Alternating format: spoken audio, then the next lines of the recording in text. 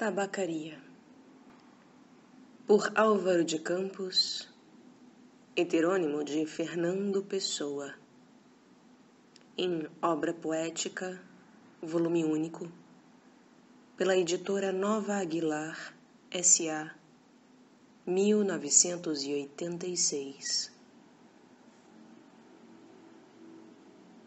Tabacaria 15 de janeiro de 1928.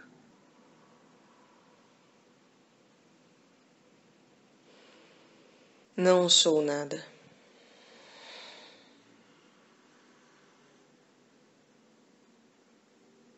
Nunca serei nada.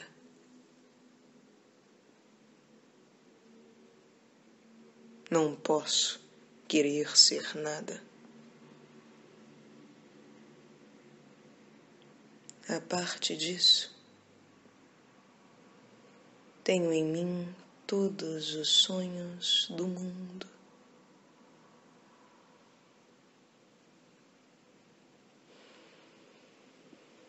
Janelas do meu quarto, do meu quarto de um dos milhões do mundo que ninguém sabe quem é. E se soubessem quem é, o que saberiam? Dais para o mistério de uma rua cruzada constantemente por gente, para uma rua inacessível a todos os pensamentos. Real,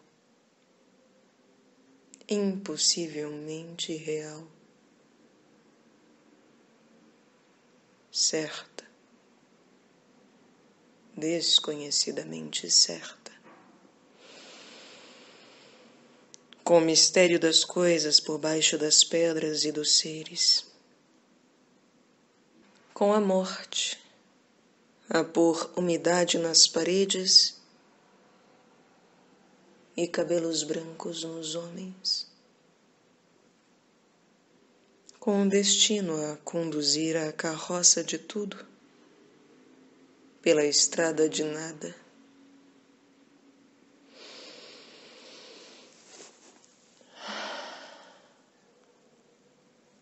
Estou hoje vencido, como se soubesse a verdade. Estou hoje lúcido, como se estivesse para morrer e não tivesse mais irmandade com as coisas, senão uma despedida,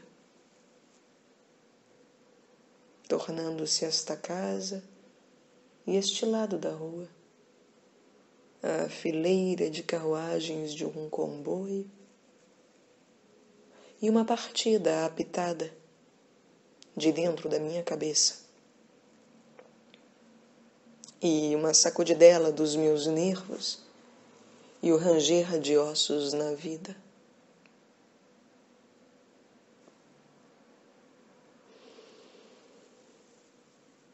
Estou hoje perplexo,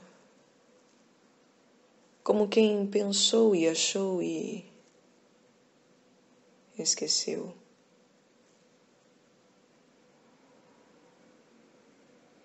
Estou hoje dividido entre a lealdade que devo à tabacaria do outro lado da rua, como coisa real por fora, e a sensação de que tudo é sonho, como coisa real por dentro.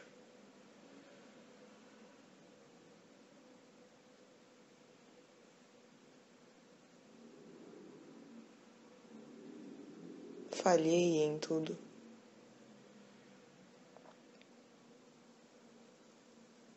Como não fiz propósito nenhum, Talvez tudo fosse nada. A aprendizagem que me deram, desci dela pela janela das traseiras da casa.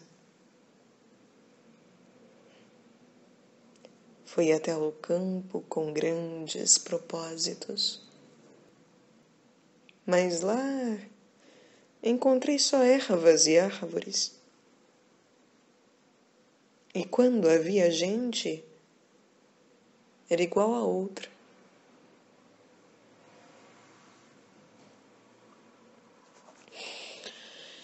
Saio da janela, sento-me numa cadeira.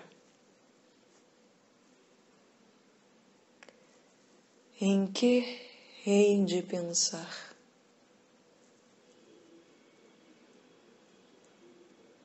Que sei eu do que serei? Eu que não sei o que sou.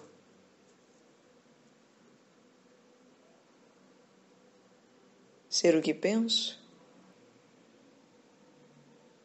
Mas penso tanta coisa. E há tantos que pensam ser a mesma coisa, que não pode haver tantos. Gênio?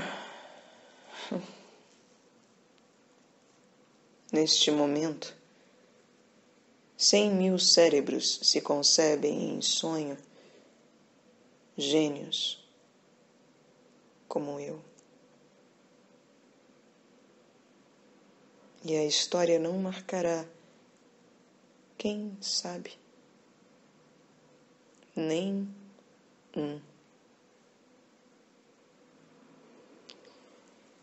Nem haverá senão estrume de tantas conquistas futuras.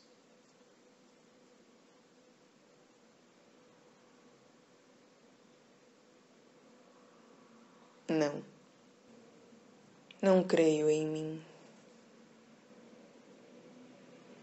Em quantas mansardas e não mansardas do mundo não estão nesta hora gênios para si mesmos? Sonhando.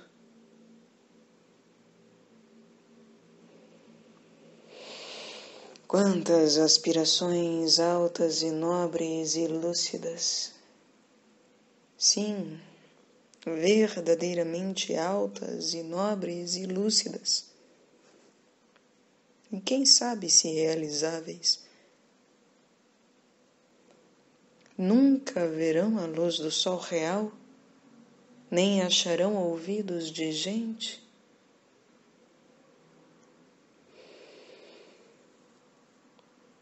O mundo é para quem nasce para o conquistar, e não para quem sonha que pode conquistá-lo, ainda que tenha razão.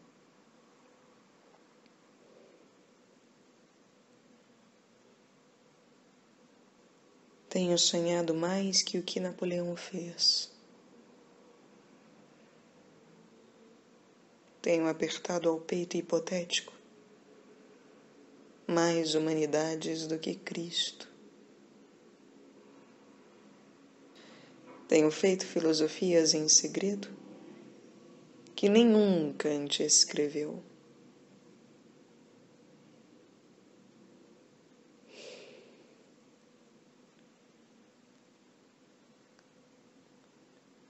Mas sou e talvez serei sempre o da mansarda, ainda que não more nela.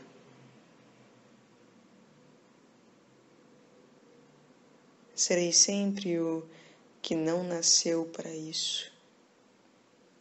Serei sempre só o que tinha qualidades. Serei sempre o que esperou que lhe abrissem a porta ao pé de uma parede sem porta. E cantou a cantiga do infinito numa capoeira e ouviu a voz de Deus num poço tapado.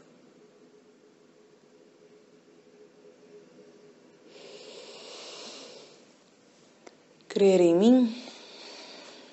Não, nem em nada.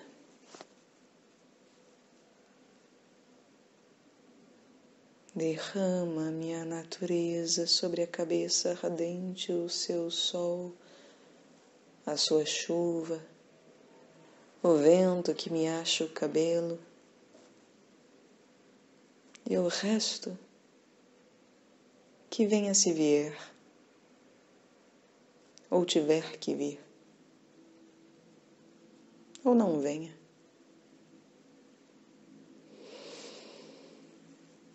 Escravos cardíacos das estrelas, conquistamos todo o mundo antes de nos levantar da cama. Mas acordamos e ele é opaco. Levantamo-nos e ele é alheio. Saímos de casa e ele é a terra inteira, mais o sistema solar e a Via Láctea e o indefinido.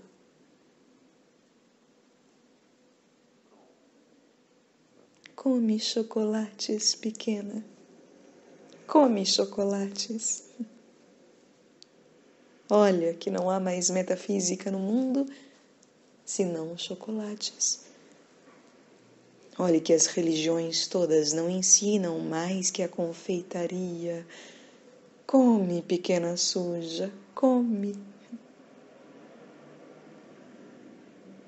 Pudesse eu comer chocolates com a mesma verdade com que comes. Mas eu penso e, ao tirar o papel de prata, que é de folha de estanho, deito tudo para o chão, como tenho deitado a vida.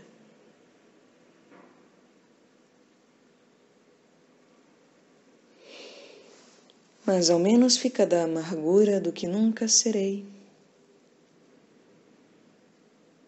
A caligrafia rápida destes versos. Pórtico partido para o impossível. Mas ao menos consagro a mim mesmo um desprezo sem lágrimas nobre ao menos no gesto largo com que atiro a roupa suja que sou, sem o rol, para o decurso das coisas, e fico em casa sem camisa.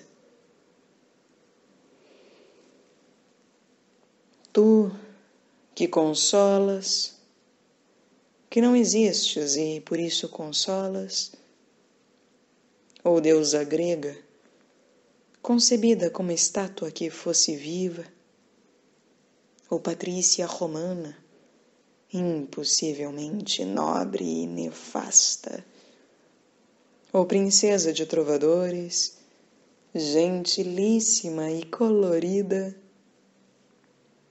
ou marquesa do século XVIII, decotada e longínqua, ou cocote célebre do tempo dos nossos pais, ou não sei que moderno. Não concebo bem o que. Tudo isso, seja o que for, que sejas, se pode inspirar,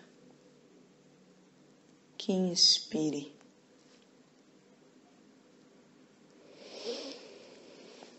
Meu coração é um balde despejado como os que invocam espíritos, invocam espíritos. Invoco a mim mesmo e não encontro nada. Chego à janela e vejo a rua com uma nitidez absoluta. Vejo as lojas, vejo os passeios, Vejo os carros que passam, vejo os entes vivos vestidos que se cruzam. E vejo os cães que também existem.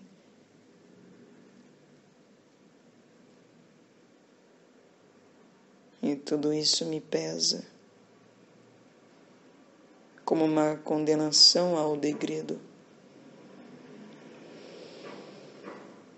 E tudo isto é estrangeiro, como tudo. Vivi, estudei, amei e até criei. E hoje não há mendigo que eu não inveje só por não ser eu. Olho a cada um os andrajos e as chagas e a mentira. E penso, talvez nunca vivesses, nem estudasses, nem amasses, nem cresces. Porque é possível fazer a realidade de tudo isso sem fazer nada disso. Talvez tenhas existido apenas como um lagarto a quem cortam o rabo, e que é rabo para quem do lagarto remexidamente.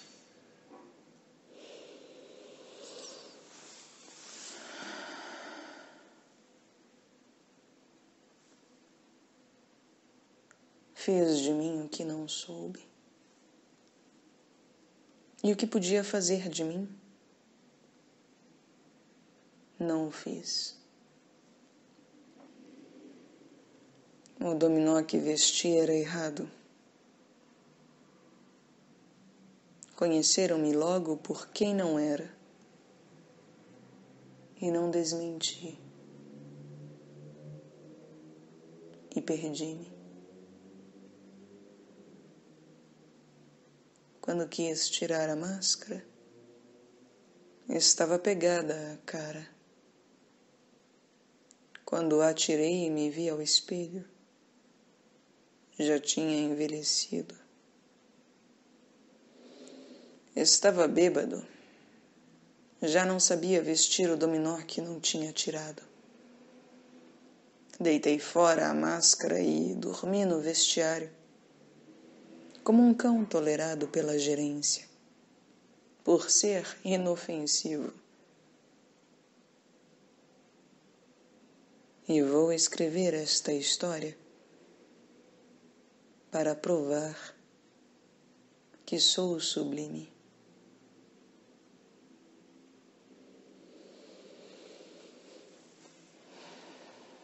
essência musical dos meus versos inúteis. Quem me dera encontrar-te como coisa que eu fizesse e não ficasse sempre defronte da tabacaria de defronte, calcando aos pés a consciência de estar existindo, como um tapete em que um bêbado tropeça, ou um capacho que os ciganos roubaram e não valia nada. Mas o dono da tabacaria chegou à porta e ficou à porta. Olho com o desconforto da cabeça mal voltada e com o desconforto da alma mal entendendo. Ele morrerá e eu morrerei. Ele deixará a tabuleta. Eu deixarei versos. A certa altura morrerá a tabuleta também. E os versos também. Depois de certa altura, morrerá a rua onde esteve a tabuleta e a língua em que foram escritos os versos. Morrerá depois o planeta girante em que tudo isto se deu. Em outros satélites de outros sistemas, qualquer coisa como gente continuará fazendo coisas como versos e vivendo por baixo de coisas como tabuletas. Sempre uma coisa de frente da outra. Sempre uma coisa tão inútil como a outra. Sempre o impossível tão estúpido como o real. Sempre o mistério do fundo tão certo como o sono de mistério da superfície. Sempre isto, ou sempre outra coisa, ou nem uma coisa, nem outra. Mas um homem entrou na tabacaria para comprar tabaco. E a realidade plausível cai de repente em cima de mim. Sou me ergo, me enérgico, convencido, humano, e vou tensionar escrever estes versos em que digo o contrário.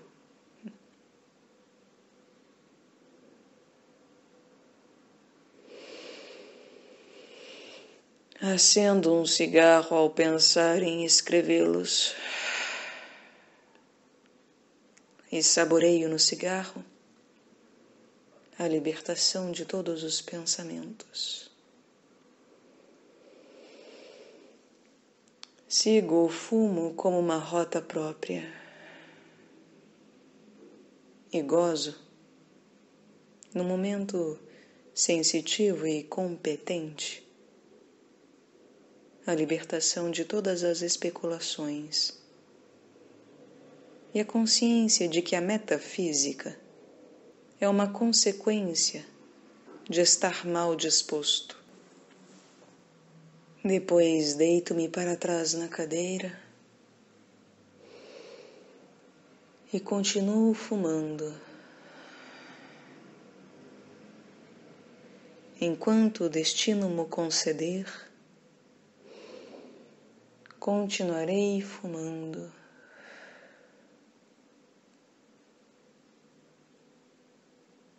Se eu casasse com a filha da minha lavadeira, talvez fosse feliz. Visto isto, levanto-me da cadeira, vou à janela. O homem saiu da tabacaria, metendo o troco na algibeira das calças. Ah, conheço é o Esteves, sem metafísica. O dono da tabacaria chegou à porta. Como por um instinto divino, o Esteves voltou-se e viu-me. Acenou-me a Deus. Gritei-lhe: Adeus, ó Esteves.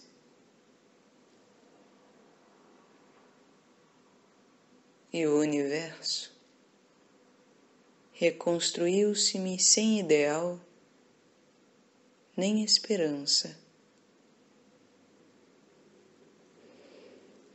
E o dono da tabacaria